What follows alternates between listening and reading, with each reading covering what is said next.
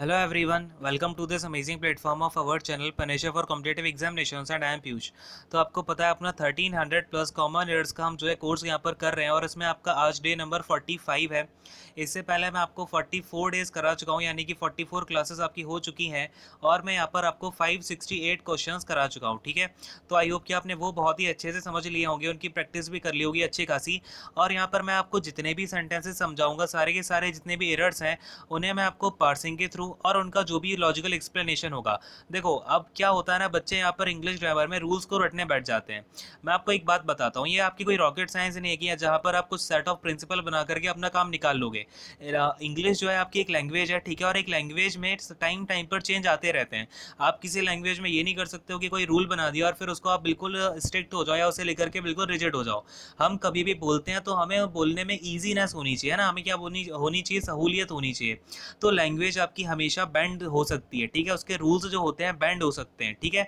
तो इस बात को आप बिल्कुल ध्यान रखें। तो यहाँ पर हम क्या कर रहे होंगे? पार्सिंग के थ्रू समझेंगे और सबसे बढ़िया है जो लैंग्वेज समझने का जो आपका अपना जो लैंग्वेज समझने का तरीका होता है ना, सबसे बढ़िया, वो होता है कि हम उसका जो लॉजिकल एक्सप्लेनेशन है ना, वो समझ रहे हो वहाँ पे, वो आपका हमेशा काम आएगा, ठीक है? रूल्स आपके हमेशा काम नहीं आएँगे, ये बात आप समझ लो। तो यहाँ पर हम अपनी लॉजिकल एक्सप्लेनेशन ही समझ रहे होंगे और यहाँ पर हम पार्सिंग का यूज़ करेंगे। पार्सिंग क्या होता है? जितने भी आपके यहाँ पर वर्ड्स यूज़ हुए हैं, मैं आपको हर का यहाँ पर पार्ट ऑफ़ स्पीच समझाऊँगा। और उसका फ़ंक्शन क्या है? वो इस सेंटेंस में काम क्या कर रहा है? उसका यूज़ क्या पड़ गया भाई? जब आप ये समझना सीख जाओगे ना कि हर वर्ड का इस सेंटेंस में क्या क्या यूज़ है तो आपको अननेसेसरी जो वर्ड्स हैं या फिर आपको कहाँ एरर हुई है, ये सारी बातें देखकर ही समझ में आने लग जाएँगी, ठीक है? चलो भाई तो आज का सेशन शुरू करेंगे फटाफट से। क्वेश्चन नंबर हम 569 को देखते हैं, जो हमारा आज का क्वेश्चन नंबर वन है। तो देखो, क्या लिखा हुआ है अपने पास? We need to surround our self with caring people particular loved ones who bring hope and support to our hearts and mind and with whom we can communicate यानी कि हम सबको अपने आसपास ऐसे लोगों को रखना चाहिए जो हमसे प्यार करें और जो हमारे हर्ट में होप लेके आए सपोर्ट करें हमें और जिनके साथ हम बातचीत कर सकें अपने कठिन टाइम पर भी। है ना? ये सारी बातें आपकी लिखी हुई हैं। तो अब बड़े ध्यान से देखना यहाँ पर अपना क्या क्या होने वाला है। ये करके देखेंगे, यहाँ पर आपका जो वी है, ये वी क्या बनेगा भाई? वी अपना यहाँ पर सब्जेक्ट हो जाएगा, ठीक है क्या हो जाएगा? सब्जेक्ट हो जाएगा।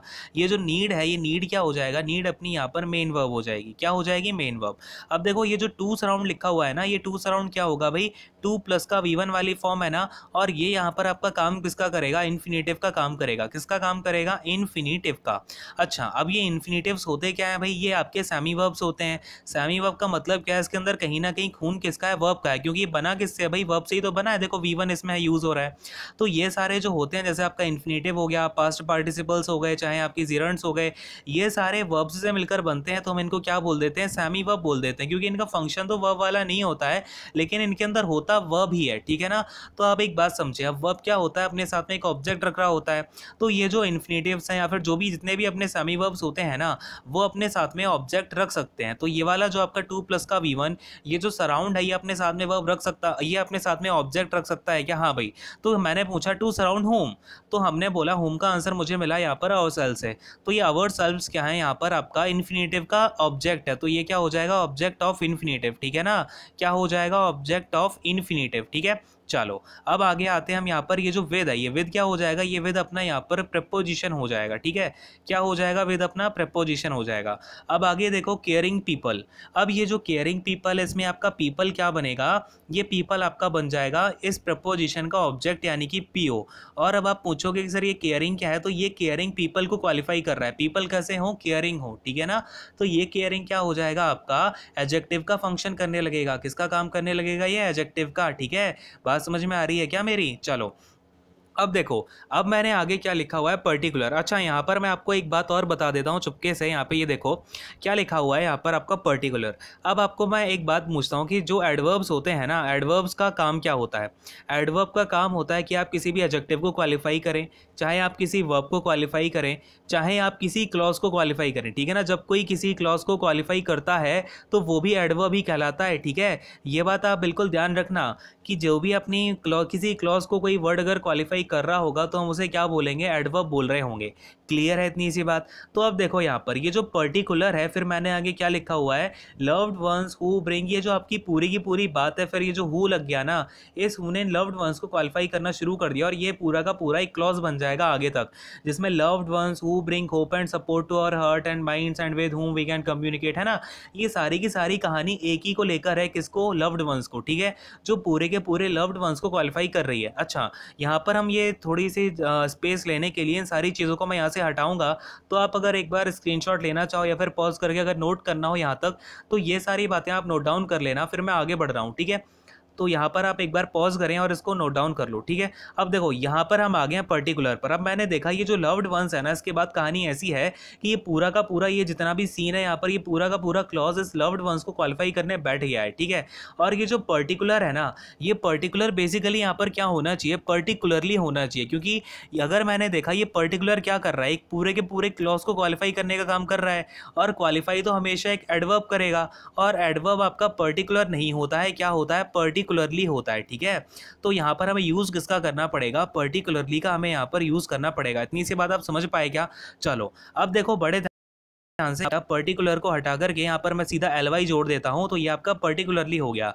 अब ये क्या हो जाएगा? आपका एडवर्ब हो जाएगा, ठीक है? क्या हो गया? एडवर्ब हो गया। क्योंकि ये पूरे के पूरे इस क्लॉज को क्या कर रहा है? क्वालिफाई करने का काम कर रहा है। इस बात को समझें आप। कौन से क्लॉज को? ये पूरा का पूरा, जितना मैंने इस रेड बॉक्स के अंदर कर दिया है ना, इस पूरे के पूरे रेड बॉक्स को ये क्वालिफाई कर रहा है कि नहीं कर रहा है? मैंने बोला पर्टिकुलरली तो अब पर्टिकुलरली कौन है भाई? वो लव्ड वंस हैं, जिन्हें की ये सारी की सारी जिनके ऊपर कहानी चल रही है। ठीक है? बात समझ में आ पाई मेरी? चलो।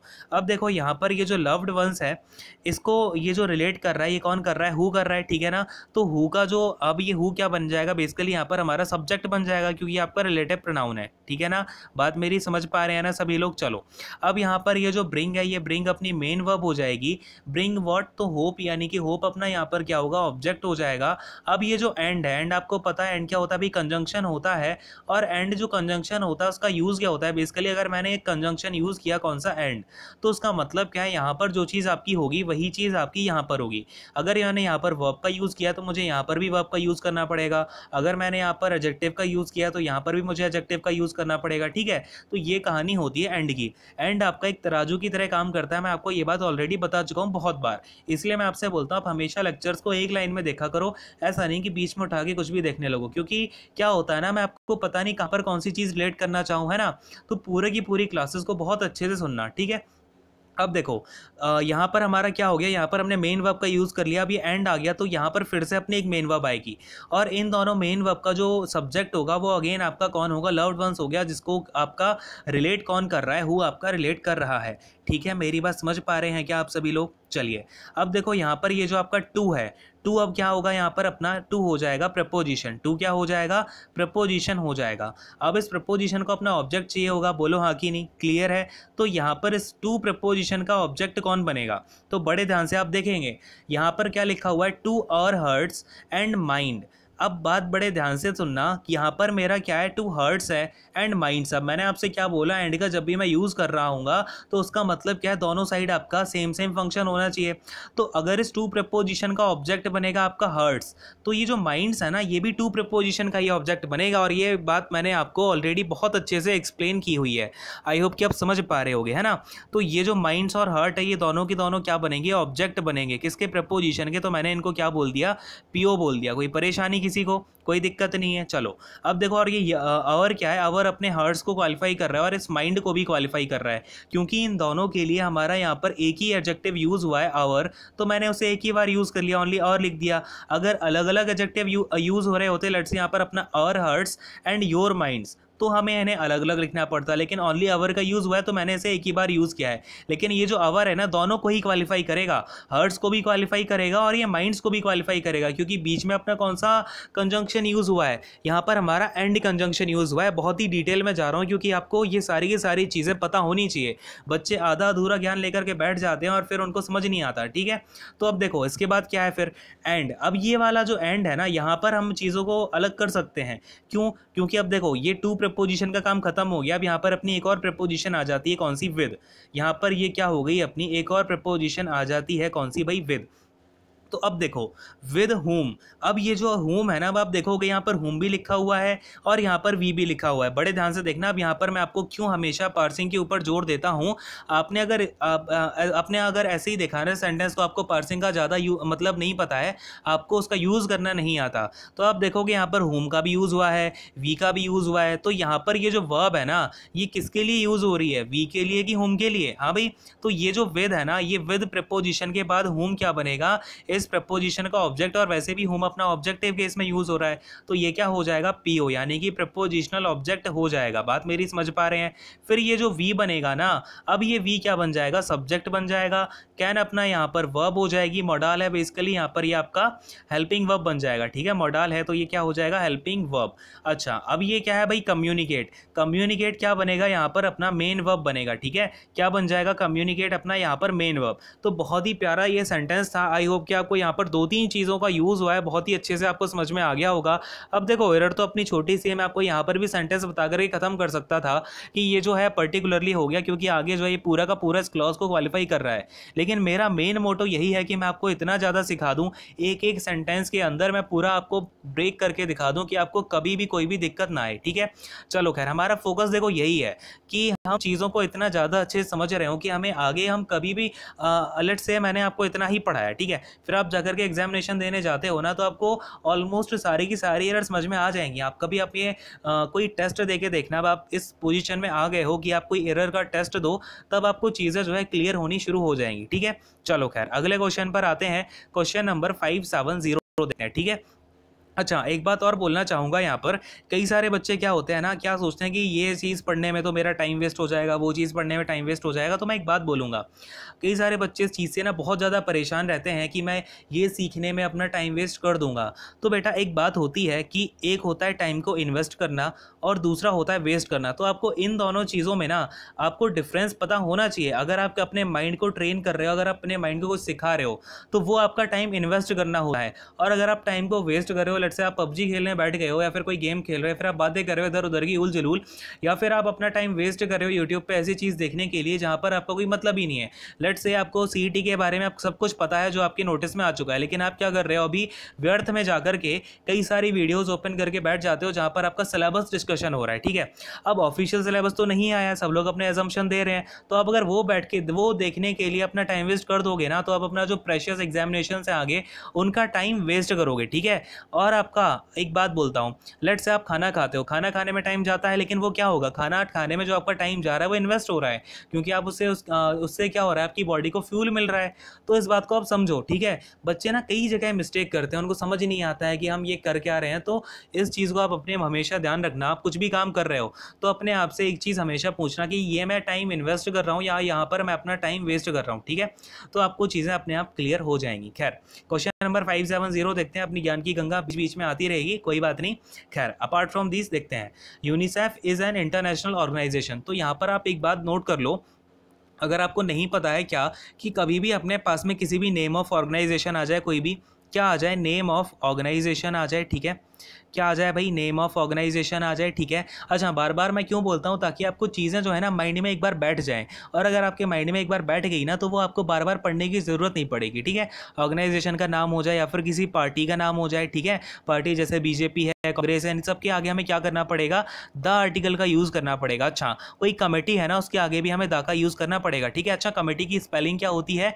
डबल टी होती है क्या? हाँ भाई, ये मैंने करेक्ट लिखी हुई है क्या स्पेलिंग हाँ भाई, ये जरा मुझे आप एक बार कमेंट सेक्शन में बताएँ, ये जो कमेटीज़ की स्पेलिंग है, क्या मैंने ये यहाँ पर सही लिखी हुई है? क्योंकि आपके एस में कई बार ये मिसपेल्ड वर्ड्स में आया हुआ है, ठीक है? चलो खैर, अब देखो यहाँ पर हमें क्या करना होता है, कोई भी आपका नेम ऑफ़ ऑर्गेनाइजेशन आ जाए नेम ऑफ़ पार्टी आ जाए नेम ऑफ़ कोई कमेटी आ जाए तो उसके साथ हमें क्या करना होगा द आर्टिकल का यूज़ करना पड़ेगा। इतनी सी बात आपको क्लियर है क्या? चलो, अब देखो यहाँ पर क्या लिखा हुआ है UNICEF is an international organisation अब ये आपका देखो क्वेश्चन में भी बोल दिया कि भैया ये एक ऑर्गेनाइजेशन है तो आपको ये देख के क्लिक तो हो ही गया होगा ना, कि इसके आगे हमें क्या करना पड़ेगा द आर्टिकल का यूज़ करना पड़ेगा। एरर तो पता चल गई कि भाई फ़र्स्ट वाले ऑप्शन में एरर है, ठीक है? छोटी सी पार्सिंग है, वो भी देख लो। द यूनिसेफ अपना यहाँ पर ये क्या बनेगा सब्जेक्ट हो जाएगा। और ये इज़ क्या है? काम तो इसका हेल्पिंग वर्ब का होता है, लेकिन मुझे दिख रहा है यहाँ पर ये मेन वर्ब की तरह बैठी हुई है। तो ये जो इज़ है ना, ये बेसिकली अब मेन वर्ब का काम नहीं, यहाँ पर लिंकिंग वर्ब का काम करेगी। क्योंकि जब जब आपकी हेल्पिंग वर्ब मेन वर्ब का काम करने लग जाए तो वो क्या हो जाती है? लिंकिंग वर्ब हो जाती है, ठीक है? क्या हो जाती है? लिंकिंग वर्ब हो जाती है। चलिए, अब देखो लिंकिंग वर्ब अगर आ गई है तो आपको पता है आगे जो भी यूज़ होगा, अपना ऑब्जेक्ट नहीं होगा, वो क्या कर रहा होगा? अपना कहीं ना कहीं सब्जेक्ट को ही कॉम्प्लीमेंट देने का काम करेगा। तो हम उसे क्या बोलेंगे सब्जेक्टिव कॉम्प्लीमेंट जैसे कि अब ये जो इंटरनेशनल ऑर्गेनाइजेशन है ना, ये क्या कर रहा है? यूनिसेफ के ही बारे में तो बता रहा है।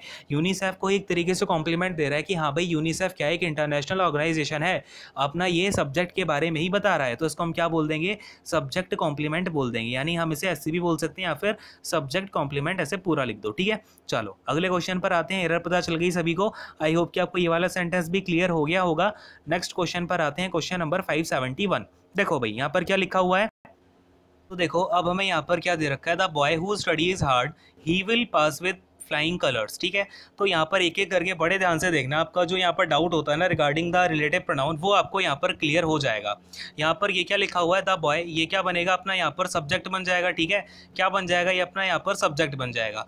अब देखो अब बड़े ध्यान से देखना, ये जो है हु ये हु क्या कर रहा है इस बार? जो, ये जो अपना द बॉय लिखा हुआ है, इसको ये रिलेट कर रहा है, यानी कि ये अपना क्या हो जाएगा? यहाँ पर रिलेटिव प्रोनाउन हो जाएगा, क्या हो जाएगा? ये अपना रिलेटिव प्रोनाउन हो जाएगा, ठीक है? क्लियर है इतनी सी बात, क्या हो जाएगा ये अपना रिलेटिव प्रोनाउन अब बात को बड़े ध्यान से देखना। अब चूँकि ये अपना रिलेटिव प्रोनाउन है तो ये भी अपना सब्जेक्ट का काम कर सकता है और दो सब्जेक्ट तो साथ में आ नहीं सकते हैं। अब ये जो बॉय है, ये अपना एक नाउन है और ये हु है, ये अपना एक प्रोनाउन है तो नाउन और प्रोनाउन यहाँ पर एक साथ आ कैसे गए? तो बड़े ध्यान से देखेंगे आप। ये जो स्टडीज़ है ना, ये स्टडीज़ एक वर्ब है, ठीक है? इस वर्ब के लिए जो सब्जेक्ट का काम करेगा, वो कौन करेगा? हु ठीक है ना? ये हु क्या बन जाएगा? इस स्टडीज़ का सब्जेक्ट बन जाएगा। तो ये स्टडीज़ क्या हो जाएगा? मेन वर्ब हो जाएगी, ठीक है?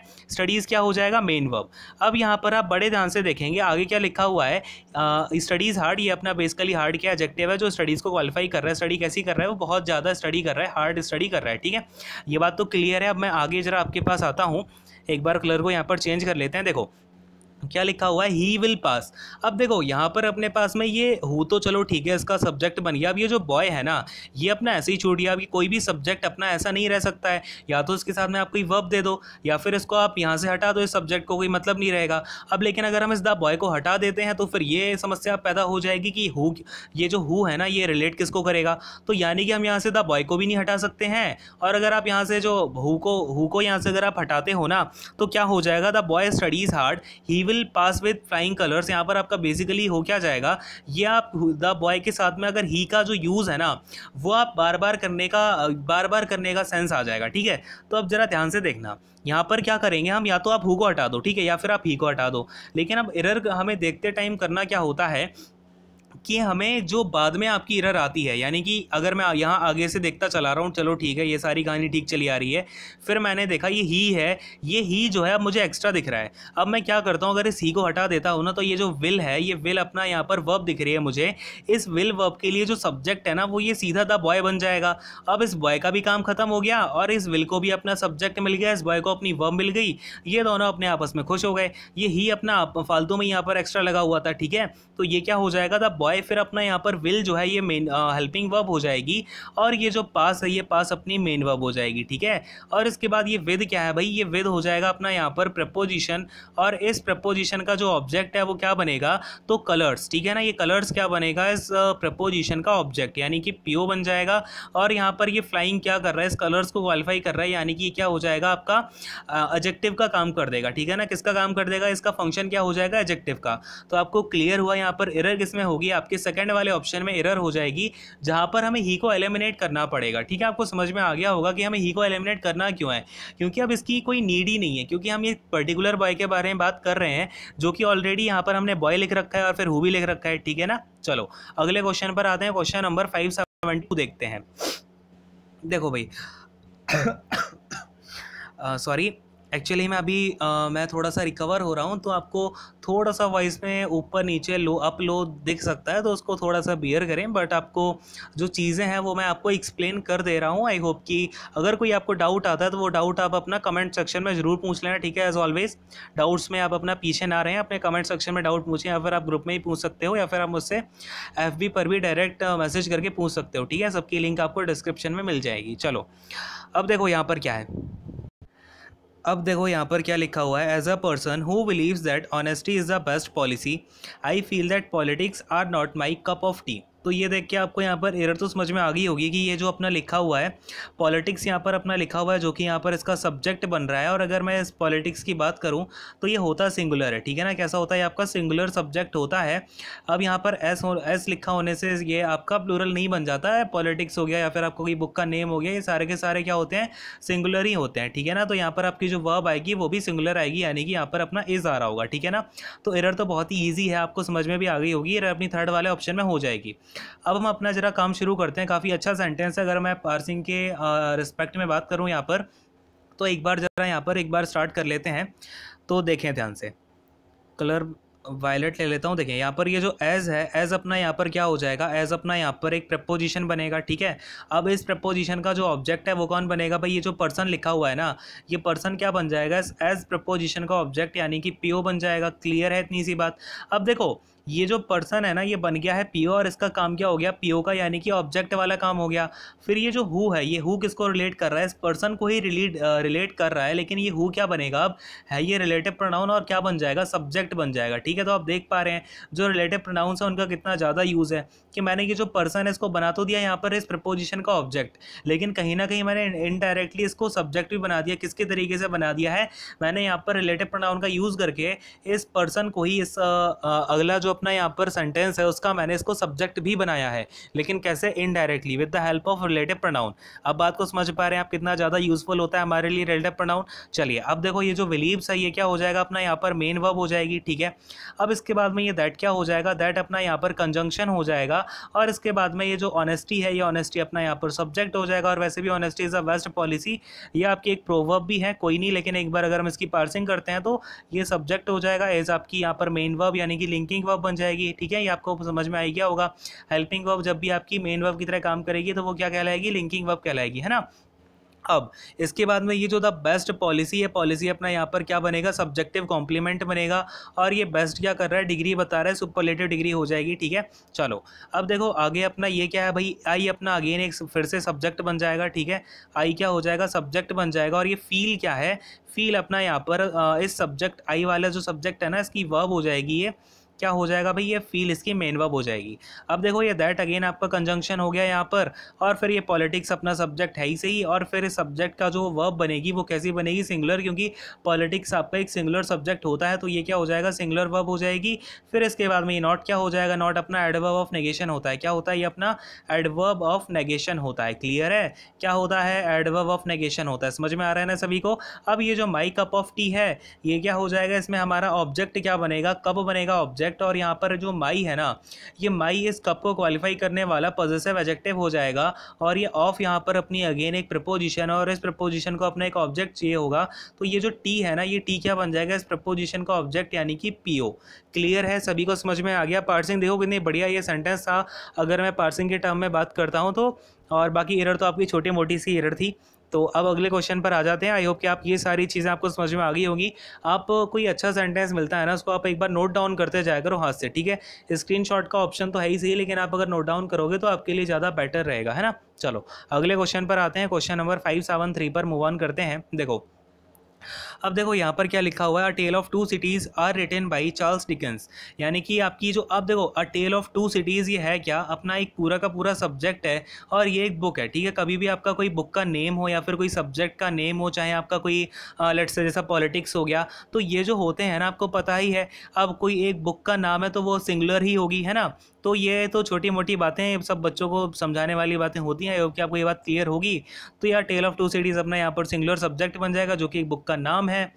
तो ये हो जाएगा आपका सिंगुलर सब्जेक्ट और इसके बाद में ये आर नहीं आएगा, यहाँ पर क्या आएगा? एज आएगा एज अपनी हेल्पिंग वर्ब हो जाएगी और रिटर्न क्या है भाई? मेन वर्ब हो जाएगी बाई क्या हो जाएगा? बाई अपना यहाँ पर प्रपोजिशन हो जाएगा और इस प्रपोजिशन का जो सब्जेक्ट है वो कौन बनेगा? चार्ल्स डिकेंस ये भी एक नाम है जिन्होंने इस बुक को लिखा हुआ है। ठीक है, अब आपको ये बाई प्रपोजिशन देख करके कुछ ख्याल आ रहा है क्या आपके दिमाग में?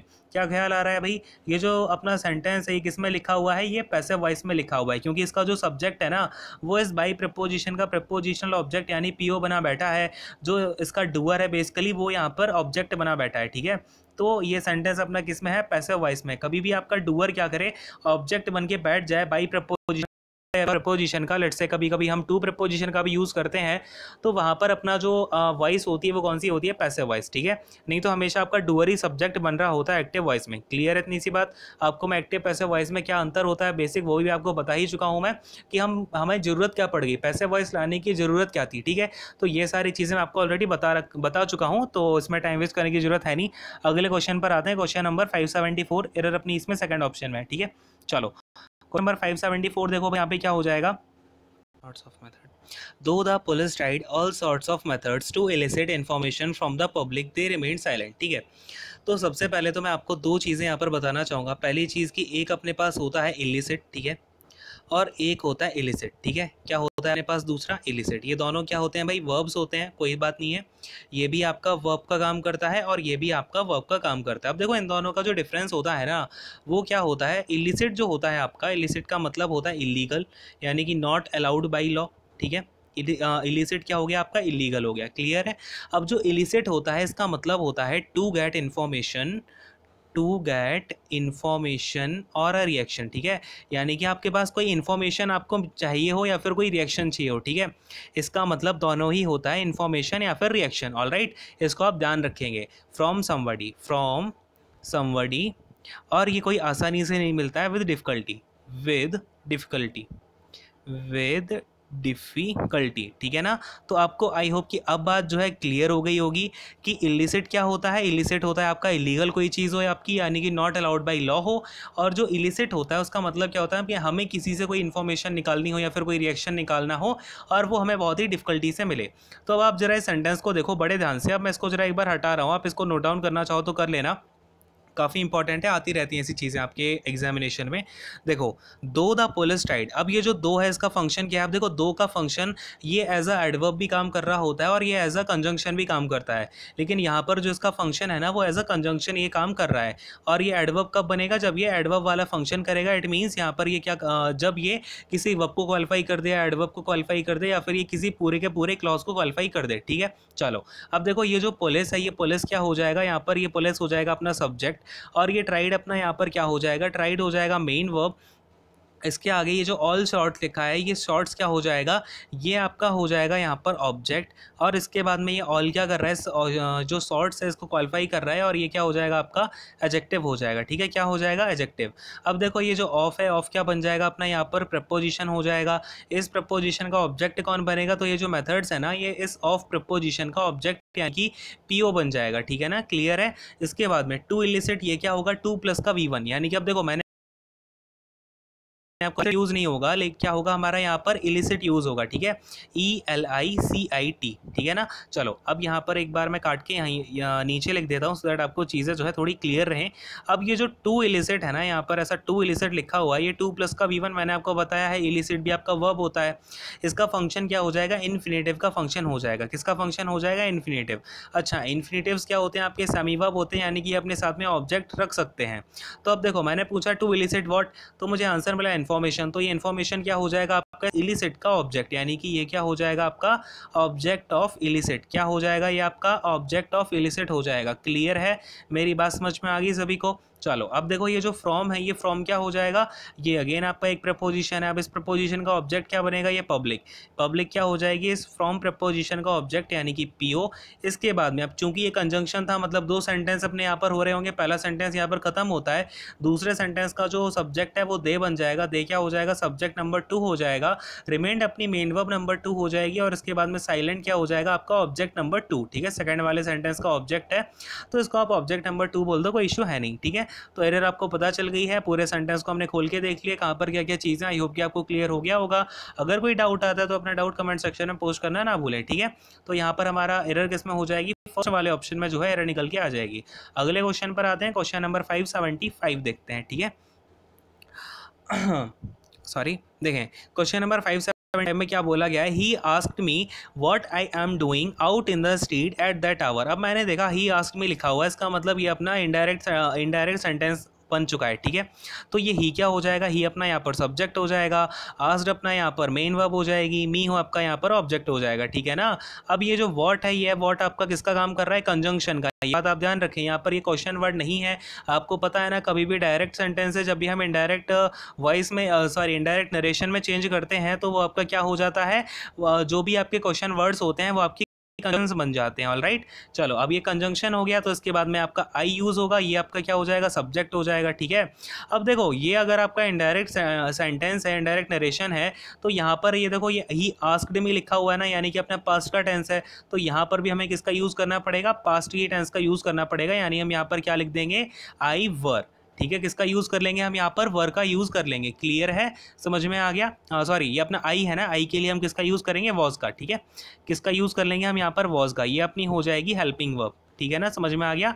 ये अपनी हेल्पिंग वर्ब हो गई डूइंग अपनी यहाँ पर मेन वर्ब हो जाएगी, ठीक है ना? चलो, अब देखो ये जो आउट इन द स्ट्रीट लिखा हुआ है ना, ये out in the street basically out in the आपका मतलब ही इसका ये होता है कि बाहर आपका है ऑल राइट अब ये जो स्ट्रीट है, ये इसका ऑब्जेक्ट बन जाएगा, यानी पीओ बन जाएगा, और उसके बाद ये जो एट है, ये एड है अगेन आपकी प्रपोजिशन हो जाएगी, और आपका ये जो आवर है, ये आवर इस एट वाली प्रपोजिशन का पीओ बन जाएगा, और ये दैट क्या कर रहा है? इस आवर को डेमोन्स्ट्रेट कर रहा है, यानी इसको क्वालिफाई कर रहा है कहीं ना कहीं तो ये दैट क्या बन जाएगा? डेमोन्स्ट्रेटिव एजेक्टिव क्या हो जाएगा दैट आपका? डेमोन्स्ट्रेटिव एजेक्टिव हो जाएगा. क्लियर है? बात समझ में आ रही है? थोड़ी सी मेरे गले में पता नहीं क्यों सोरनेस हो रही है। तो थोड़ा सा लेक्चर को आज थोड़ा छोटा ही रखते हैं। एक बार मैं आ, कुछ एक क्वेश्चंस और बता देता हूँ आपको सो दैट अपना चीज़ें थोड़ी क्लियर हो जाएँ। देखो। वेट अ सेकेंड पानी पी ले। No sooner did the peon ring the bell the boys left the class यानी कि नो सूनर सॉरी, थोड़ा सा कफ आ गया, देखें। ये जो नो सूनर है, ये अपना बेसिकली क्या है? ये जो नो सूनर है, जो भी हमारा नो सूनर हो गया स्कार्सली हो गया बेयरली हो गया रेयरली हो गया, ठीक है? ये सारे वर्ड्स क्या होते हैं?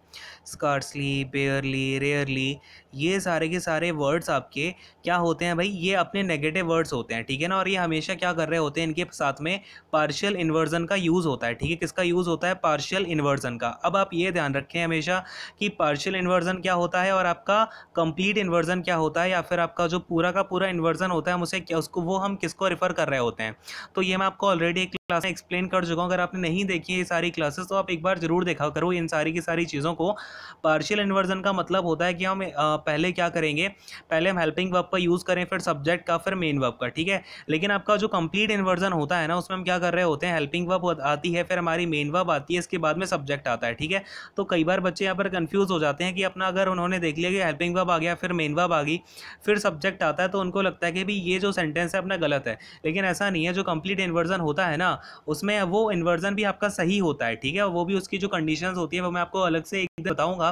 पूरा का पूरा मैं आपको इन्वर्जन का चैप्टर पढ़ाना, पढ़ाने की सोच रहा हूँ, क्योंकि इन्वर्जन में कई सारे बच्चों को दिक्कत आती है, ठीक है? खैर, हम यहाँ पर क्या बात कर रहे हैं? नो सूनर ये सारे वर्ड्स क्या करते हैं? अपने साथ में इन्वर्जन का यूज़ कर रहे होते हैं। और दूसरी बात कि आपका नो सूनर हो गया, इसके साथ में जो हमारा को रिलेटिव कंजंक्शन यूज़ होता है, वो होता है देन और बाकी के जितने भी वर्ड्स हैं, आपके scarcely barely rarely hardly hardly है ना? ये सारे के सारे वर्ड्स के साथ में हमारा जो को रिलेटिव कंजंक्शन है, वो कौन सा यूज़ होता है? वैन यूज़ होता है, ठीक है? चलो भाई। अब देखो, यहाँ पर नो सूनर है करेक्ट हो गया डेड है, ये भी करेक्ट हो गया इन्वर्जन का यूज़ किया हमने यहाँ पर प्यून अपना यहाँ पर सब्जेक्ट हो गया है डेड अपनी हेल्पिंग वर्ब है रिंग अपनी मेन वर्ब है और द बैल अपना यहाँ पर ऑब्जेक्ट हो जाएगा, ठीक है? इतनी सारी इस बात तो अपनी बिल्कुल करेक्ट हो गई है। इसके बाद में the boys left the class इसके बाद में ये जो द बॉयज़ है, ये ना यहाँ पर सब्जेक्ट हो जाएगा और इसके बाद में लेफ़्ट क्या हो जाएगा भाई? मेन वर्ब हो जाएगी और ये क्लास जो है, ये क्लास अपना ऑब्जेक्ट हो जाएगा, ठीक है? तो अब आपको यहाँ पर एक चीज़ दिखी होगी कि हमने जो कंजंक्शन है, उसका यूज़ ही नहीं किया।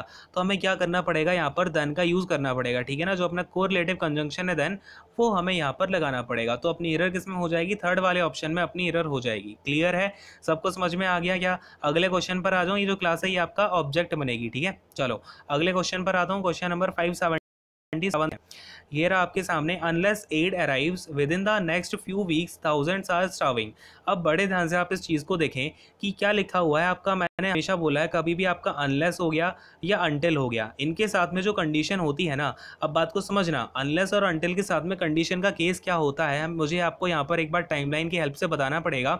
लेट से ये अपना प्रेजेंट का टाइम है, ठीक है? ये कोई प्रेजेंट का टाइम है और मैंने आपको यहाँ पर कोई कंडीशन दे दी। तो अब इस कंडीशन का जो रिज़ल्ट होगा ना, इस कंडीशन का जो मुझे रिज़ल्ट देखने को मिलेगा, वो कहाँ पर देखने को मिलेगा? ऑफ़ कोर्स ही बात है, मुझे फ्यूचर में देखने को मिलेगा। तो आप ये बात हमेशा ध्यान रखना। अनटिल और अनलेस के साथ में जो भी कंडीशन आती है, क्या बोल रहा हूँ मैं? जो भी कंडीशन आती है, वो तो होती है अपनी प्रेजेंट टेंस में। और जो उसका रिज़ल्ट मुझे मिलता है या फिर जो उसका कंडीशन का मुझे रिज़ल्ट देखने को मिलेगा, वो अपना फ्यूचर टेंस में होता है। मैंने आपको इतनी सी बात सिखाई हुई है। आई होप कि आपको ये सारी बातें मेरी याद होंगी, है ना?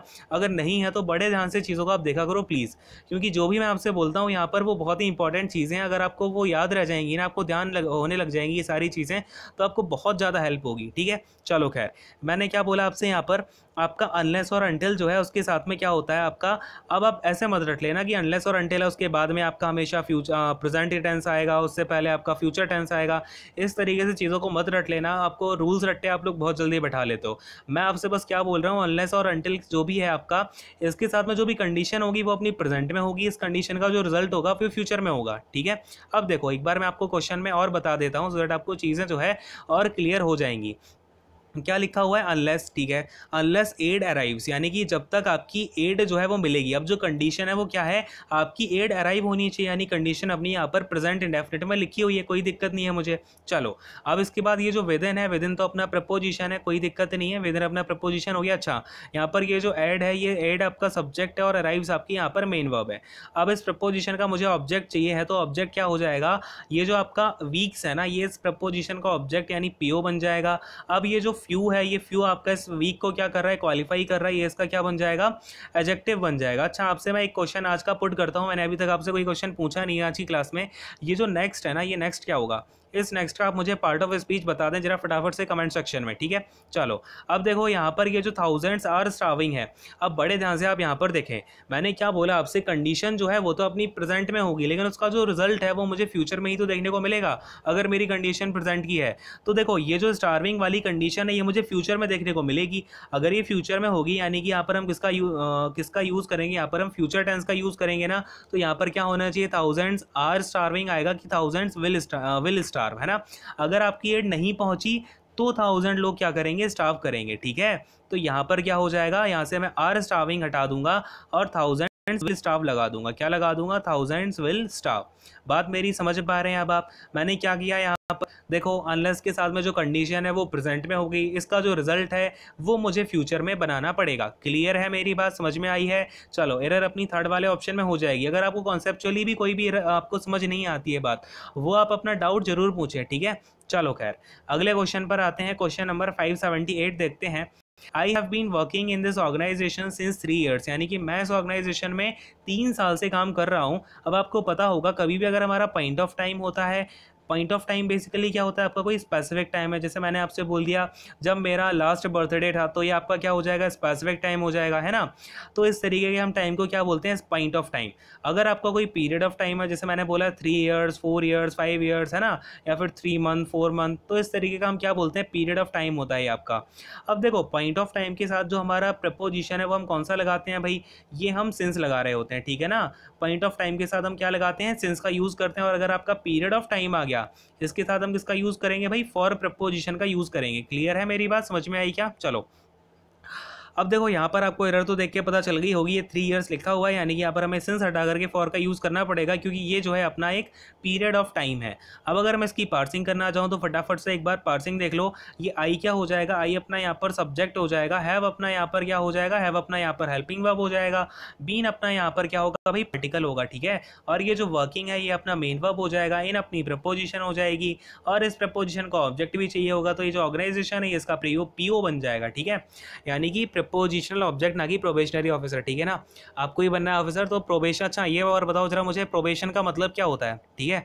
ऑफिसर बनने वाले ही हो अगर आप लोग तो जरा मुझे इसका मतलब भी बता दें प्रोबेशन का मतलब होता क्या है? चलो, अब ये जो ऑर्गेनाइजेशन है, हो गया अपना दिस क्या कर रहा है, इसको डेमोन्स्ट्रेट कर रहा है, ये आपका डेमोन्स्ट्रेटिव एजेक्टिव हो जाएगा।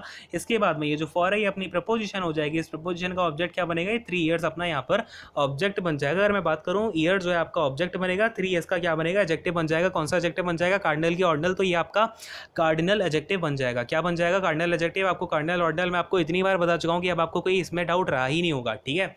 तो अब मुझे फटाफट से एक बार ये भी बता दो कमेंट सेक्शन में कार्डिनल क्या होते हैं और ऑर्डनल क्या होते हैं, ठीक है? चलो, अगले क्वेश्चन पर आता हूँ। क्वेश्चन नंबर फाइव और देख लेते हैं फटाफट से। ये रहा आपके सामने, देखो। Neither of the two candidates have paid his subscription ठीक है? तो अब देखो, यहाँ पर आप बड़े ध्यान से देखना, कभी भी अगर हम नीदर और ईदर का यूज़ करते हैं, ठीक है ना? किसका यूज़ करते हैं, नीदर का या फिर हम ईदर का यूज़ करते हैं तो इनके साथ में हमेशा आपका सिंगुलर वर्ब का यूज़ होगा। क्यों होगा?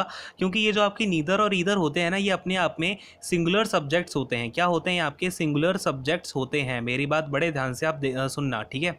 ये क्या हो गए? सिंगुलर सब्जेक्ट्स हो गए। अब आप बोलोगे कि, सर, यहाँ पर तो दो कैंडिडेट की बात करी गई है तो इसके हिसाब से तो यहाँ पर इसके बाद आपका जो सब्जेक्ट है वो ये बन जाएगा। तो अब देखो, पार्सिंग का यहीं पर तो खेल शुरू होता है। देखो ज़रा ध्यान से। मैंने क्या बोला? नीदर। नीदर अपना यहाँ पर सब्जेक्ट बन जाएगा। अब इसके आगे क्या है? ये ऑफ़ है। ऑफ़ क्या हो जाएगा भाई? ऑफ़ अपनी प्रपोजिशन हो जाएगी। तो इस प्रपोजिशन का ऑब्जेक्ट कौन बनेगा? ये जो टू कैंडिडेट्स है ना, ये टू कैंडिडेट में जो कैंडिडेट है, ये तो इसका प्रपोजिशनल ऑब्जेक्ट बन गया। और ये टू इसको क्वालिफाई करने वाला क्या बन जाएगा? कार्डिनल एजेक्टिव बन जाएगा। ठीक है ना? क्या बन जाएगा? कार्डिनल एजेक्टिव बन जाएगा। क्लियर है इतनी सी बात? अब बड़े ध्यान से आप देखिएगा। कि ये टू तो हो गया कार्डिनल एजेक्टिव और ये कैंडिडेट हो गया प्रपोजिशनल ऑब्जेक्ट तो यहाँ पर सब्जेक्ट का काम कौन कर गया? ये जो नीदर है ना, यही यहाँ पर आपका सब्जेक्ट का काम कर गया। तो इसके हिसाब से यहाँ पर ये जो वर्ब आनी चाहिए, कौन सी आनी चाहिए? सिंगुलर वर्ब आनी चाहिए, यानी यहाँ पर क्या आएगा? आपका हैज़ आएगा, ठीक है? अब चूँकि यहाँ पर आपका हैज़ आया हुआ है तो यहाँ पर ये जो हिज सब्सक्रिप्शन है ना, यहाँ पर आप बोलोगे, सर हिज सब्सक्रिप्शन ये आपने क्यों यूज़ किया यहाँ पर आपने देयर सब्सक्रिप्शन क्यों यूज़ नहीं किया है? ठीक है? तो यहाँ पर आप बिल्कुल डाउट में मत रहना।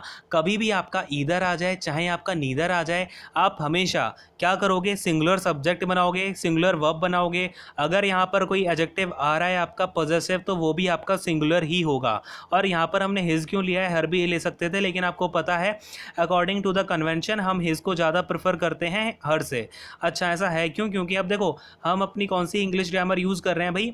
हम ब्रिटिशर्स की इंग्लिश ग्रामर यूज़ कर रहे हैं, यानी हम ब्रिटिश इंग्लिश को यूज़ करते हैं। और ब्रिटिश में पहले क्या होता था, बहुत पहले ही अपनी इंग्लिश जो है वो बनाई गई थी। अपनी नहीं, खैर ब्रिटिशर्स की जो इंग्लिश है, वो फिफ्टीन हंड्रेड के टाइम पर ये बनाई गई थी और उस टाइम पर क्या होता था? Fifteen sixteen hundred seventeen hundred का जो टाइम था, उस टाइम पर जो वुमेंस हैं, वो कुछ काम नहीं करती थी। उनका बेसिकली जो घर का काम होता था हाउस होल्ड वर्क वही किया करती थी। तो अगर मैं आपसे बोलता हूँ, कोई कैंडिडेट बना है या फिर कोई चुनाव लड़ रहा है या फिर कोई आपका लट से कोई इंजीनियर है डॉक्टर है तो ये सारे के सारे मैन हुआ करते थे, ठीक है ना? कौन हुआ करते थे? मैन तो उन्होंने क्या कर लिया कि इसको, उन्होंने अंडरस्टूड ही कर लिया कि हम किसको प्रेफर करेंगे करेंगे मैन को यानी कि हेज़ हो गया, इस तरीके की हम चीज़ों को यहाँ पर प्रेफर कर रहे होंगे, ठीक है ना? तो इसीलिए अभी तक यही आपका जो कन्वेंशन है, वो अभी तक चल रहा है, इसमें कोई आपका लॉजिक वाली बात है नहीं, ठीक है ना? चलो, अब इसके लिए आप डरने मत बैठ जाना कि हर का यूज़ क्यों नहीं है इसका नहीं, ठीक है? ये बस अपना कन्वेंशन है छोटा सा इसका मैंने आपको रीज़न भी बता दिया है तो इसमें ज़्यादा बहस करने की ज़रूरत है नहीं, चलो। अब ये हेज़ क्या हो गया? हेज़ अपना यहाँ पर पॉजिटिव एजेक्टिव हो गया है और ये जो हैज़ है, ये तो अपनी हेल्पिंग वर्ब हो गई और ये पेड आपका यहाँ पर मेन वर्ब हो जाएगी हिज अपना पॉजिटिव ऑब्जेक्टिव हो गया और ये सब्सक्रिप्शन क्या हो जाएगा? ऑब्जेक्ट हो जाएगा, ठीक है ना? क्या हो जाएगा सब्सक्रिप्शन ऑब्जेक्ट हो जाएगा। क्लियर है मेरी बात? एरर किसमें आ गई है? सेकंड वाले ऑप्शन में अपनी जो है एरर निकल के आ गई है। नेक्स्ट क्वेश्चन पर आता हूँ, अगले वाले क्वेश्चन को देखते हैं। क्वेश्चन नंबर फाइव पर आ जाते हैं जरा फटाफट से। तो देखो भाई a well balanced diet is essential for a good health यानी कि अपना, एक जो वेल बैलेंस्ड डाइट है, वो बहुत ही ज़्यादा इसेंशियल होती है गुड हेल्थ यानी कि आपकी जो हेल्थ है, उसकी बहुत ही अच्छी हेल्थ के लिए, यानी एक अच्छी हेल्थ के लिए ऑल राइट चलो खैर, अब देखो, यहाँ पर आपका क्या है एक एक करके हम पार्सिंग करते हैं, फिर देखते हैं यहाँ पर कोई इरर है भी कि नहीं है। ये जो डाइट है, ये डाइट क्या बनेगा सब्जेक्ट बनेगा, अपना वेल बैलेंस्ड क्या कर रहा है, इस पूरी की पूरी डाइट को क्वालिफाई कर रहा है डाइट कैसी होनी चाहिए आपकी वेल बैलेंस्ड वेल बैलेंस्ड का मतलब क्या होता है, उसमें आपके certain number certain amount of vitamin होना चाहिए सर्टेन अमाउंट ऑफ़ प्रोटीन होना चाहिए, है ना? एक बैलेंस होनी चाहिए, ये नहीं कि उसमें काफ़ी ज़्यादा या तो आपके विटामिन ज़्यादा हो गए। तो वो भी आपकी बैलेंस्ड डाइट नहीं होती है ठीक है? चलो खैर अब ये क्या हो जाएगा आपका? यहाँ पर एजेक्टिव हो जाएगा इसके बाद में इज़ क्या हो जाएगा? बताएँ जरा मुझे इज़ क्या होगा? इज़ अपना यहाँ पर आ, होती तो हेल्पिंग वर्ब है काम कर रही है लेकिन मेन वर्ब का तो ये क्या बन जाएगी? लिंकिंग वर्ब बन जाएगी है ना?